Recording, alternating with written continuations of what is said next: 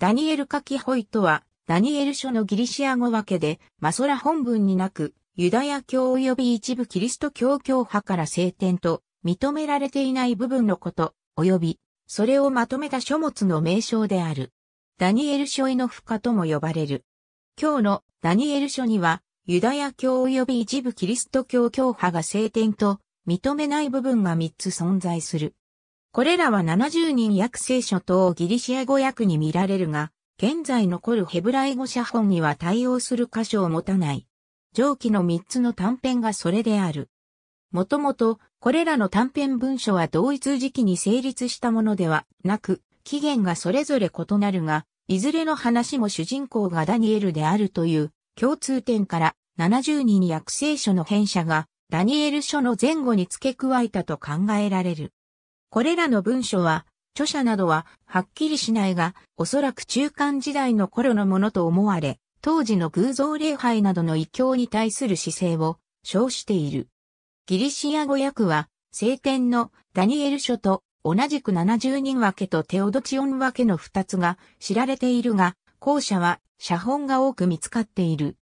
二つの分けは、アザルヤの祈りと三人の若者の参加においては、双方の一致が見られるが、残りの二つは内容も大きく異なる部分が存在する。ヒエロニムスは、ウルガータ翻訳の際、テオドチオン分けを定本に使用した。なぜなら、当時は70人分けがあまり一般的ではなかったからである。キリスト教のうち、カトリック教会、正教会、英国国教会などは、ヘブライ語聖書にない部分も含んだ、ダニエル書を聖典としてきたのに対し、プロテスタントのほとんどでは、マルティン・ルター以来ヘブライ語聖書に含まれる部分のダニエル書のみを聖典とし、それ以外の部分を排除してきた。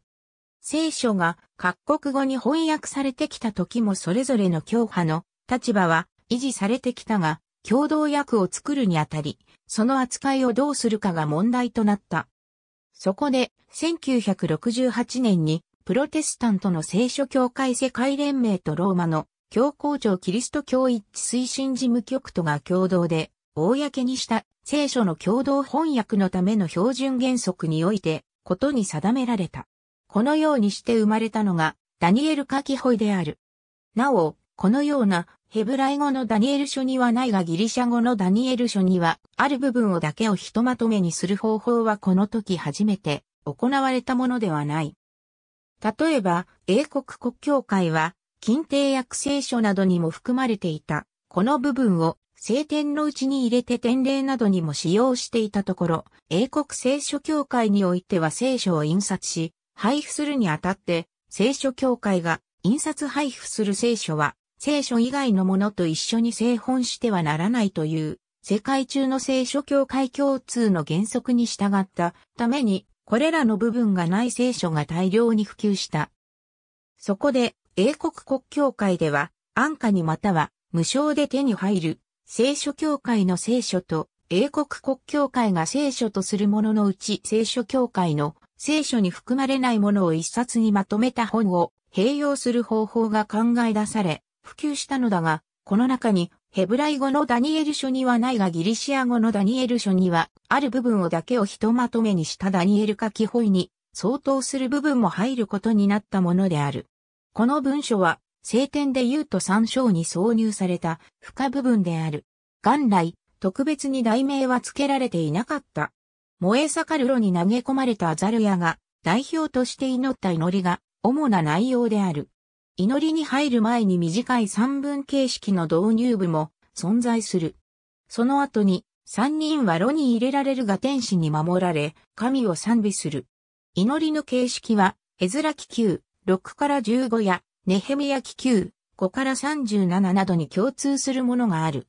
内容としては、聖典のダニエル書3章、燃え盛る炉に投げ込まれた3人の変形である。後半の賛美の部分は、万物の章と称され、聖公会祈祷書の早等にも使用された。この物語にはいくつかの疑問が残る。主なものを挙げると、などである。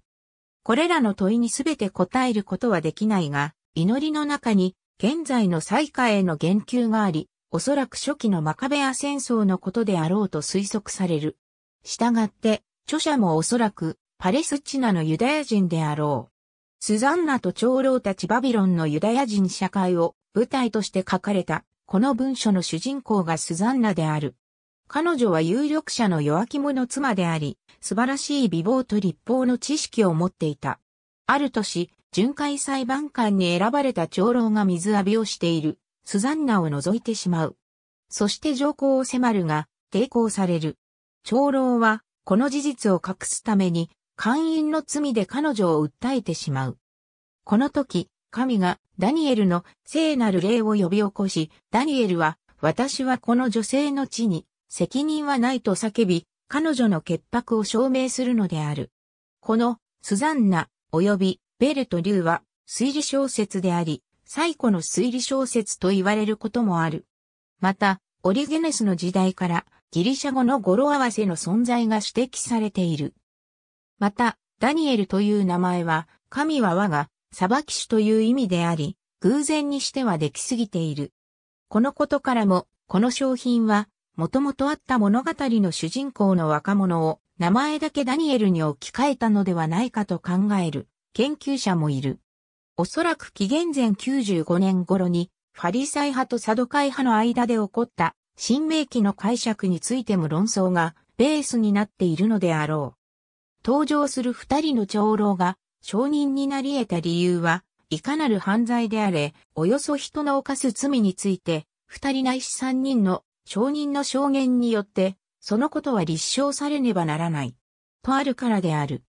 最終的には、新明記19時18分マイナス19、もし、その証人が偽証人であり、同法に対して偽証したということになれば、彼が同胞に対して企んだことを彼自身に報い、の言葉通り処刑される。スザンナはしばしば美術家の画題となった。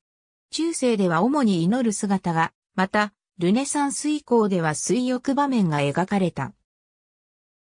水浴の場面の描写については、ヨーロッパの画家が宗教心からではなく、ラフ、スザンナに興味を持って描いたものである。